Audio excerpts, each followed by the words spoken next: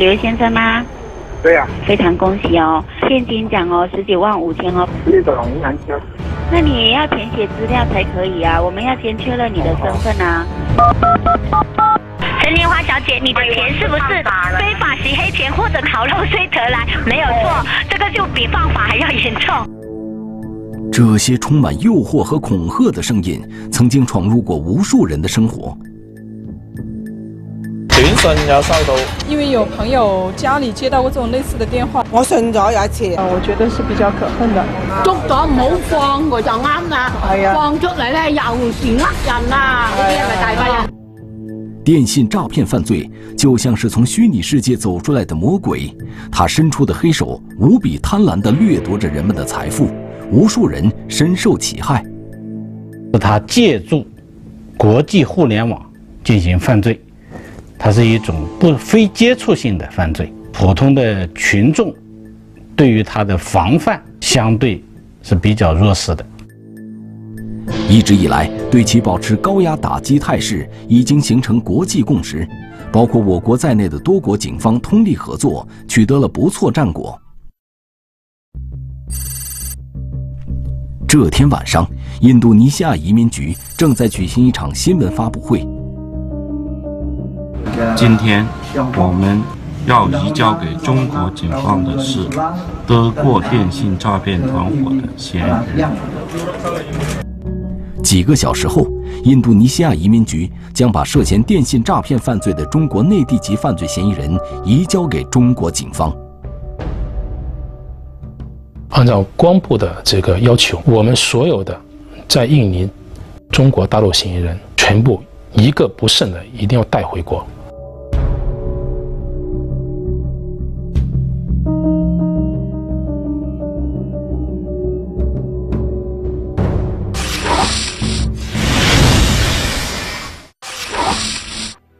长期以来，多个电信诈骗团伙盘踞在东南亚国家，他们冒充金融机构和政法机关的工作人员，向中国的北京、上海、浙江、广东等地打去诈骗电话，很多事主上当受骗，蒙受了巨大损失。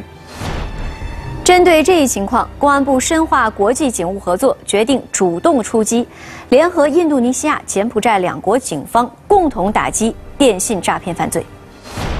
二零一五年十月，公安部部署北京、上海、广东警方奔赴印尼，浙江警方奔赴柬埔寨，跨国开展专案侦查工作。刚才我们看到的这一幕，就是经过一个月左右的工作所取得的战果。然而，这一时刻来的并不容易。聚焦一线，直击现场。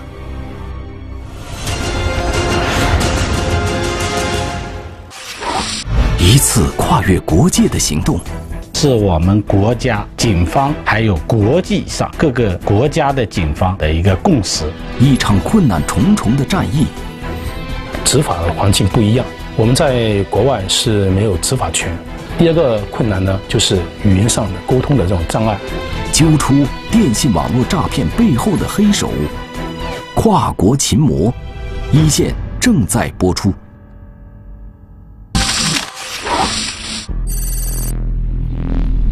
在雅加达的一家酒店中，来自北京、上海、广东等地的警察迅速集结。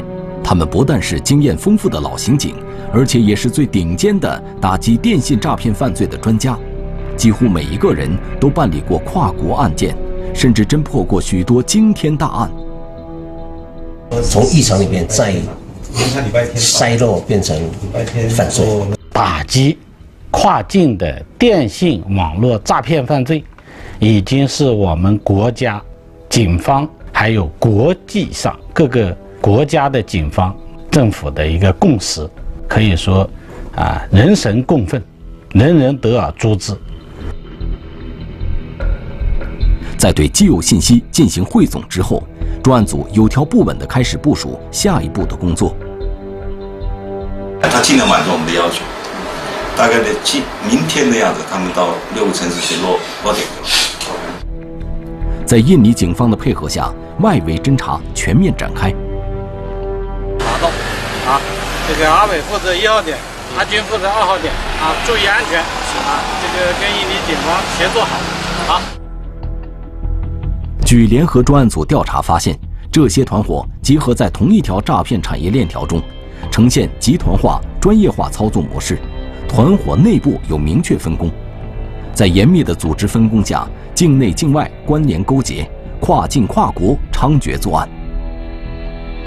所以呢，我们这在打击和取证方面受到的制约很多，啊，很多工作需要走出国门，到境外去完成。跨国办案对于中国警察来说已是工作常态，但异国他乡的环境依然是个不小的挑战。因为水土不服啊，呃，那么造成这一个拉肚子啊、发烧啊，啊，这这种情况。生活上的困难倒在其次，而由于语言文化等方面的差异给工作带来的不便，则让专案组民警着急。执法的环境不一样，我们在国外是没有执法权。第二个困难呢，就是语言上的沟通的这种障碍。仅仅语言沟通的问题，就给民警的调查带来不小的麻烦。就比如要坐出租车，要说清楚一个地点就非常困难。Uh, so Di, di, you know? This uh, S. imigrasi Ahawud. Oh, Uh, nanti Hino? nanti jalan Hino? ke sini. Ah, Hino. Uh, Hino? Ya. Hino. OK OK。八到八万对吧？嗯。那女的跟跟你在在说什么？我都没听懂她的话。但是，联合专案组还是克服了种种障碍。他们根据前期掌握的线索，最终摸清了多个电信诈骗团伙设在印度尼西亚的话务组以及洗钱窝点的藏身地点。经过周密计划，印尼警方决定对藏匿在雅加达、巴厘岛等地的多个电信诈骗团伙同时展开抓捕。然而，行动前夕出现了意外。捉到呃几名呃从犯罪窝点里面出来的台湾人，可能部分窝点呃又在近期进行撤离。原来，印尼警方发现有五名涉嫌电信诈骗的犯罪嫌疑人似乎闻到了风声，正准备外逃，于是果断将他们控制了起来。但是，正所谓牵一发而动全身，原本要同时收网的行动却突生变故。这个消息。让专案组成员倍感担忧，因为前期侦查显示，这些诈骗团伙之间互相交叉、互为联系。万一打草惊蛇，此次国际合作很可能竹篮打水一场空，数月来的艰苦付出也将付之东流。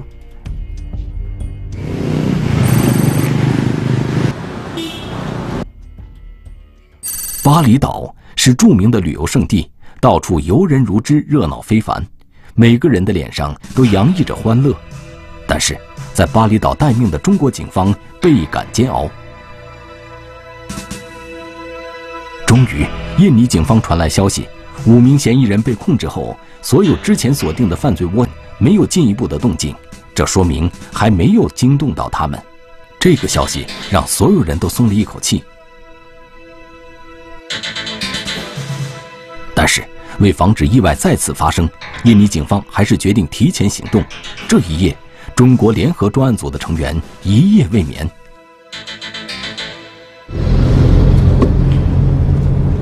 二零一五年十月二十一日早上，印尼警方通知我方开始行动。跟警察不要太近哦，还没行动啊，小肖。来帮我看一下这个。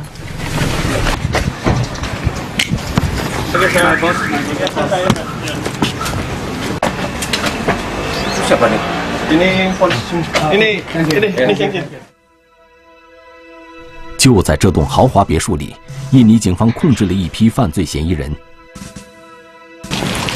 哪里？你现在说汉语就知道我们是哪里来的，听懂了没有？啊，配合我们啊！谁负责？这里。啊。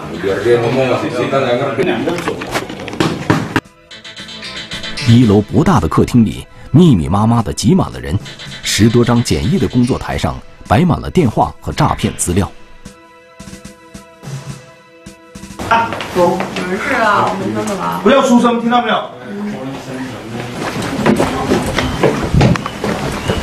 大三的是吧？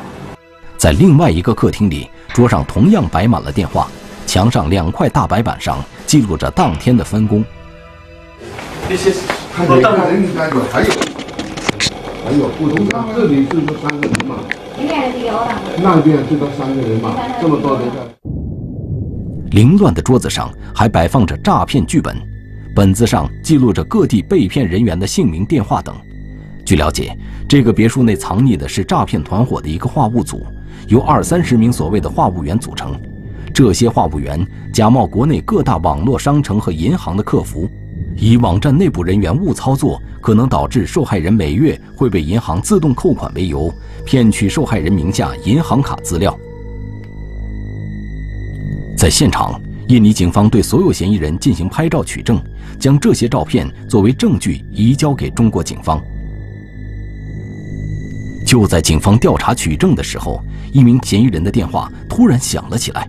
在问话中，这名嫌疑人交代，这通电话是他们的老板打过来的，他们的老板叫阿龙，这个阿龙每天十点多就会过来布置当天的工作。十点才会过来。对。他没这里的 eh, 钥匙。没有。哎，他一般是从哪个方向来？你不知道？不知道。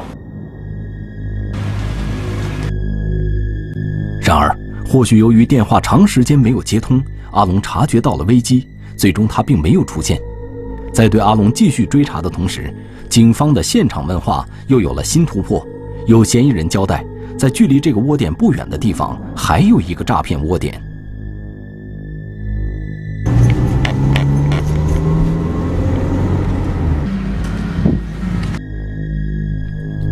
这又是一栋豪华别墅，装修精致，设施齐全。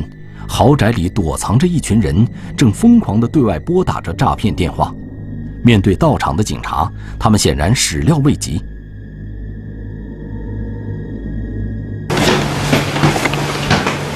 监控门口把他硬盘给他拷拷拷走开始，拿拿走。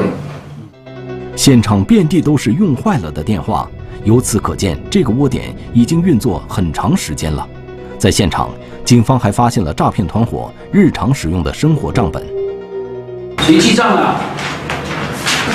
你记了？对，来来来来，问你，就是你是记账的，负责电话费是吧？我只记这个。只记电话费，别动。对。警方在现场还查获了一大批公民信息资料，公民的居住地址、电话号码、工作单位都清晰地记录在上面。这是通过非法渠道买回来的，这个我们国内的一些这个民众的信息。这个就是诈骗对象的资料啊，打勾的就是成功的，没啊打勾的是失败的。从标记情况来看，几乎所有的潜在客户都被诈骗团伙联系过。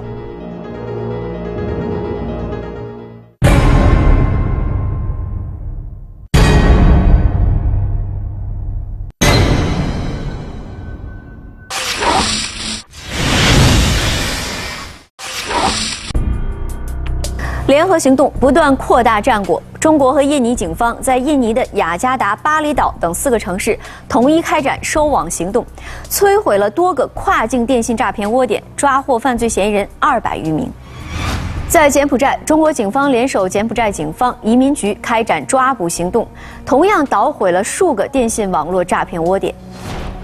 同时，在分析了赴印尼专案组提供的线索后，广东珠海警方成功的锁定了一个已经潜逃回国的电信诈骗团伙，并且成功抓获团伙成员二十余人。面对越来越猖獗的电信网络诈骗，公安机关一直在加大防范和打击的力度。但是，通过简单的电话和网络，犯罪嫌疑人是如何实施诈骗，让受害人上当的呢？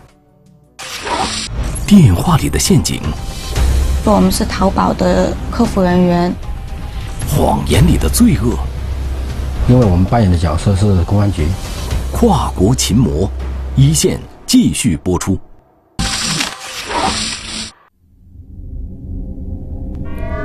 这栋位于巴厘岛的豪华别墅，大门常年紧闭，无数罪恶的声音从这里发出，侵害着中国北京、上海、广东等地市民的利益。这个诈骗窝点里的犯罪嫌疑人虽然看上去比较年轻，但是他们一个个都是实施电信网络诈骗的老手。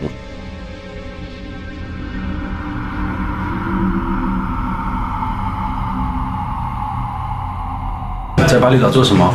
做诈骗。你是不是银行职员？这是商城购买购物网络，就用这种手法诈骗呢，是不是？是。骗哪里？准备？打都打大陆的。这名在民警看押下收拾东西的女孩叫小丹，江苏常州人。小丹是这个诈骗团伙的一线话务员，冒充各种角色来打电话。至于电话里说什么，小丹说每天开工前都会有剧本。他会让我们背熟，在我们一样，让我们在三天之内一定要背熟，背不熟的话就一天要抄五十遍、一百遍。小丹交代，剧本的内容基本大同小异，都是先说准对方的基本信息，争取对方不挂电话，然后就开始往钱和银行卡等信息上靠拢。从二零一五年年初到被抓，他扮演最多的角色是淘宝客服。说我们是淘宝的呃客服人员，说发现他们的名单出现在我们的批发商客户名单当中，然后这个批发商每个月是可以享受一个全场七到九折的优惠，但是每一个月会产生一笔五百元的批发商加盟费。那问客人说要要不要？做保留还是取消？如果要保留的话，是为期一年，一共是六千元；如果要取消的话，那我们就会呃把他的资料上传到银行，让银行的客服人员来协助他做取消。诈骗分子精心编制的剧本，写满了各种情景对话的细节技巧和应对办法，内容完全依照受害人的心理形式，可以说是细致周密。呃，这个受害者。可能是在这个电商平台，可能是买一次两次东西，啊，并不想，并并不想说每一年要扣这个六千元这个呃费用，所以呢，一般都会取消取消。而一旦事主愿意和银行客服人员对接，小丹说他的任务就算完成，接下来其他成员会扮演银行客服人员继续行骗。经过反复培训和排练，像小丹这样的一线话务员，首先拨打电话给客人，当一线的说法受到客人质疑时，二线会给予相应的印证，然后由三线接力。而虚假银行客服人员一旦套取到银行卡号和密码，就会快速把钱转走，诈骗得手。巴厘岛电信诈骗团伙主要是冒充网络商城和银行的客服人员实施诈骗。而犯罪嫌疑人实施诈骗的手法绝不止这一种，可以说是花样百出。这名嫌疑人名叫小雨，回国后在家人的劝说下，到珠海市公安局投案自首。是家里人陪我投案自首的。我知道我们的同伙被抓起来了嘛，然后我害怕，我要告诉他们。小雨说。他在诈骗团伙里面充当的是电信公司的客服，也就是一线。就是说，是某某某，就是电信的客服，然后就说他欠费怎么样，叫他去交费。他说没有的话，就是说有人可能冒用了他的证件之类的，就是说可能是人家盗用了，就这样建议他报警，这样子人就转上给二线。张成就是小雨所说的二线。主要是冒充政法机关工作人员实施诈骗。与小雨相比，这个张成显得非常老练。本人就负责二线的，因为我们扮演的角色是公安局，不断的灌输给那些受害人嘛，不断的给他一直让他听听听听，听到最后后来我们说他本人都是用身份证号码，就是说已经换了法了，非法洗钱的这样的罪名的。据张成交代，他常用的诈骗手法就是冒充警察、检察官等工作人员。编造受害人涉嫌洗钱、贩毒等假象，让受害人感到极度紧张和恐慌。我们所说的什么呢？群众他们都有点害怕嘛，因为毕竟民众他们是不懂得这些法律的，就是说说他已经犯了法，就是必须要他本人交代他自己的所有的所得的财产在哪。而当受害人对诈骗分子的身份产生怀疑的时候，诈骗团伙就会使出另外一个杀手锏——改号软件。我们都是用那种号码改号，改成那种他们一查幺幺四幺幺四客服这边呢，他们也会再核实一遍，问他这个号码是哪个单位的，他们核实之后，他们就相信了，就这样的让他们相信我们是公安局的。经过一步步恐吓引诱，此时的受害人已经完全相信了骗子的说辞，最终听从对方的指示进行所谓的账户清查，也就是转账。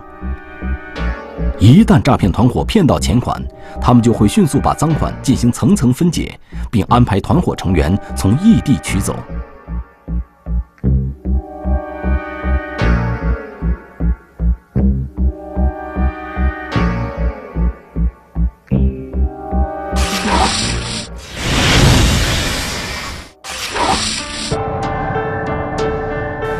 电信网络诈骗的手法层出不穷。为了防范和打击电信网络诈骗，切实的保护好人民群众的财产安全和合法权益，二零一六年九月二十三号，国家有关部门发布了关于防范和打击电信网络诈骗犯罪的通告。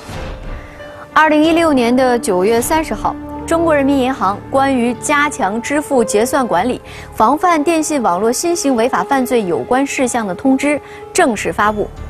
规定，从二零一六年的十二月一号起，除向本人同行账户转账外，个人通过自助柜员机转账的，发卡行在受理二十四小时后办理资金转账；在发卡行受理后二十四小时内，个人可以向发卡行申请撤销转账。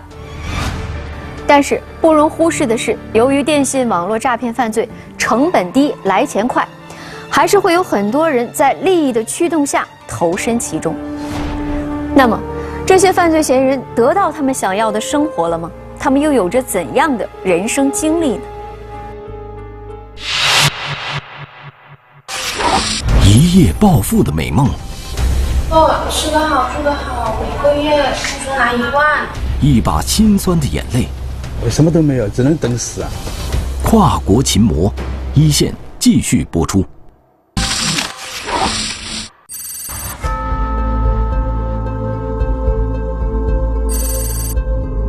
怎么来这里的？他说吃得好，住得好，一个月嗯，薪水拿一万。嗯，想说带我们到国外去工作很轻松，一天八个小时。但是真相是这样的吗？这个步履蹒跚的男人叫何武，江苏常州人，被捕时四十九岁，他是警方在巴厘岛抓获的嫌疑人中年纪最大的一个。何武不仅腿脚不便，还患有严重的高血压、心脏病。就是这样一个疾病缠身的人，居然也被诈骗团伙招募。我在澡堂子里碰到一个人，他问我，他说：“你靠什么生活呢？”他说：“靠我父母养着，是吧？”他说：“那边有一个工作，是吧？又可以旅游。”我说：“我没钱，担心，只要只要你愿意去。”对方开出的优厚条件让何武想都没想就答应了下来。经过安排，他稀里糊涂的就来到了巴厘岛。熟悉了大概一个星期吧，他说：“你这样吧，你坐，你坐你旁边。另另外另外，他们在打电话的时候，你在听，然后对着你的稿子看，你一耳朵听人家怎么打。”此时，对于自己要干的事情，何武已经心知肚明。就是你想跑你也跑不了，这时候我腿也不好，我想求助，但是求助你有什么办法呢？我什么都没有，只能等死啊。何武就这样。成为诈骗团伙的一员。据统计，在巴厘岛，警方抓获的大陆籍犯罪嫌疑人共三十九名，其中三十二男七女。被捕时，按年龄段分三十岁以下的三十三人，初中毕业的二十人。从数据来看，诈骗团伙招募的主要是年轻人，并且文化水平相对较低。来自江苏常州的小丹，已经不是第一次到印尼充当电信诈骗团伙的话务员了。这第二次，因为第一次我去的时候钱没有拿到，他是说第二次这段我如果去的话，就说可以把钱上一次的钱也给我。小丹曾经在国内做过小生意，由于经营不善，生意失败，欠下了一笔债务，加上与丈夫关系不好，就经常去酒吧玩。一次偶然的机会，她在酒吧认识了一名男子，这名男子非常热情地给她介绍工作。他就跟我说，去那边有很多种工作，比如说烧饭、做菜，这他说有七八千到一万块钱左右，有时候还可以拿小费，所以说也是看到钱比较多才会过去。小丹说，去印尼的签证和机票都是介绍人安排的，这让他很是相信对方。但是到印尼后，他和其他几个人被安排到一处偏僻的独栋别墅内，并被要求上交了护照和手机。直到那时，他才意识到不对劲儿。到了房子以后，他让我去读稿，我才知道我们要工作的是不是这个电信诈骗。那当时我就说不要做，那不要做，他就不给我们饭吃。小丹说，被逼无奈，他最终成为诈骗团伙的一线话务员。但是，工作一段时间后，恰逢印尼当地警方开展打击电信诈骗的行动，为安全起见，团伙头目就送他们回国，以躲避打击。然而不久之后，当诈骗团伙再次招募他的时候，他选择了跟从。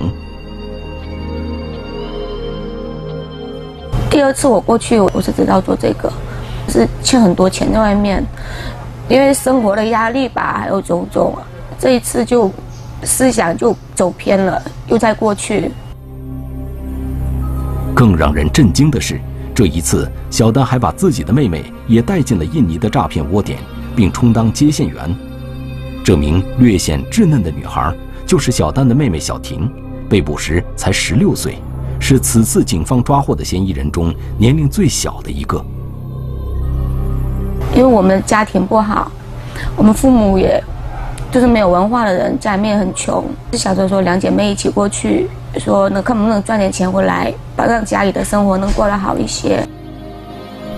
尽管诈骗团伙的头目许诺了高薪待遇，但直到被捕。姐妹俩都没有拿到过一分钱，相反，她们在异国他乡过的是噩梦一般的生活。在大门紧锁的豪华别墅里，诈骗团伙专门安排人员日夜看守，以防止话务员逃跑。走不了啊，因为护照跟手机他们都收走，我们联系不到外面。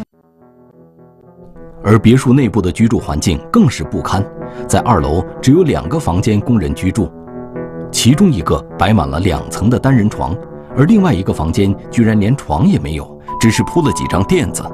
据了解，就是这两个不足四十平方米的房间，平时挤着二十多人睡觉，他们甚至男女混居。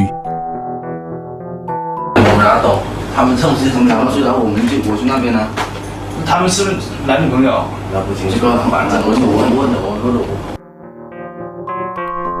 不仅居住环境恶劣，伙食也很差。很少有肉吃，反正是西红柿或者鸡蛋。在团伙成员居住的房间里，摆放着很多国内带来的泡面和零食。而对于他们来说，这还不是最苦的，最苦的还是对国内家人的思念。这个涉世未深、误入魔窟的女孩小梦，一说起家人，眼圈就红了。挺后悔的。不知道怎么面对家里人。更可怕的是，所有话务员都面临着严苛的业绩要求。护照、电话他都收了，就不能回去。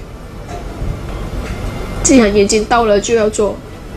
一天我们最少要他要让我们送十二张到十五张的单子，成功的单子。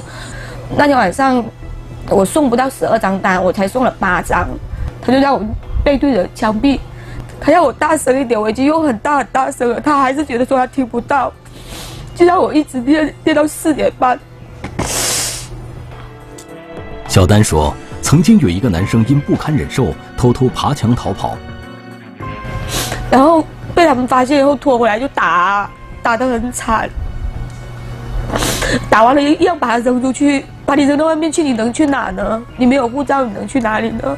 小丹说。在别墅里的日子，他仿佛经历了一场噩梦。有些人七八年了都回不了自己的家乡，那时候真的很怕，又联系不到家里人，不知道说我们会在那边被关多久，以后还能不能回来。小丹说：“当看到冲进屋内的中国警察时，他才看到了希望。就是当看到我们中国警方的时候，其实那种心情不是害怕，是高兴。我觉得我们可以回家了。”由于这个贪图啊所谓的高薪啊，这个从事电信诈骗犯罪活动啊，我们也在这里要忠告这些人啊，不要心存侥幸啊，一定要迷途知返，啊，自动和这些犯罪分子啊，这个保持距离，啊，并且勇于揭检举揭发。二零一五年十一月，公安部下达指令，中国警方赴印尼工作组和赴柬埔寨工作组于十一月十日押解中国内地籍犯罪嫌疑人回国。二零一五年十一月六日，当地时间晚上七点，印尼警方将缴获的电脑、手机等各类现场物证整理完毕，并列好清单交付中国警方。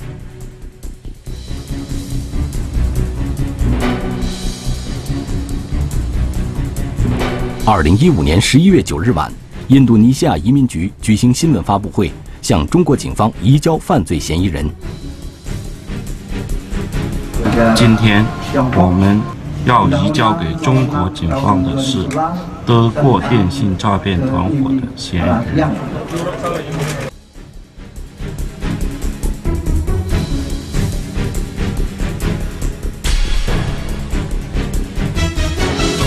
收拾皮箱，要不要回国？大陆的全部收皮箱。早全部收拾到。听到这个消息，小丹姐妹异常激动，终于可以回家了。小丹还特意换上了平时舍不得穿的红裙子。打火机有没有？大声一点。到。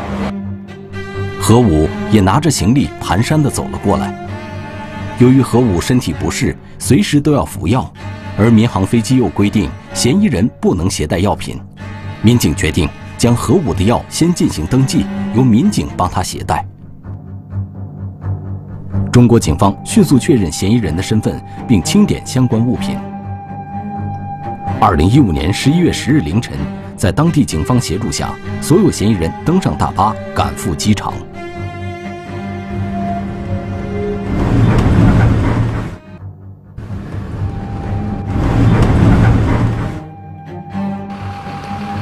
从国内飞来的民航包机已经抵达机场，民警们的工作在紧张有序的进行中。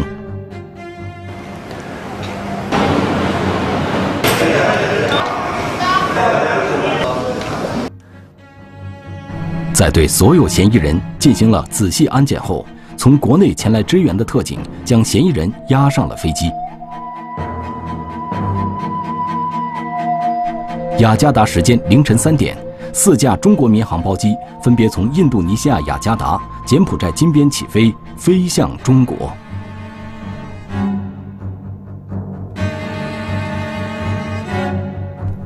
二零一五年十一月十日上午。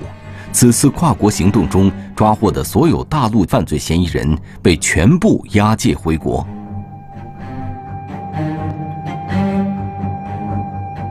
我不想让孩子知道他有个这样子的妈妈，我真的很后悔，真的。好好的在这里改造，然后出去之后找一份正正经经的工作，重新做人。接下来呢？我们公安机关对目前啊仍在作案的这些电信犯罪团伙，啊要认真排查线索，发现一单打掉一单，啊不管是在广东，在国内作案，还是在东南亚国家作案，啊我们都一律对他们要绳之以法。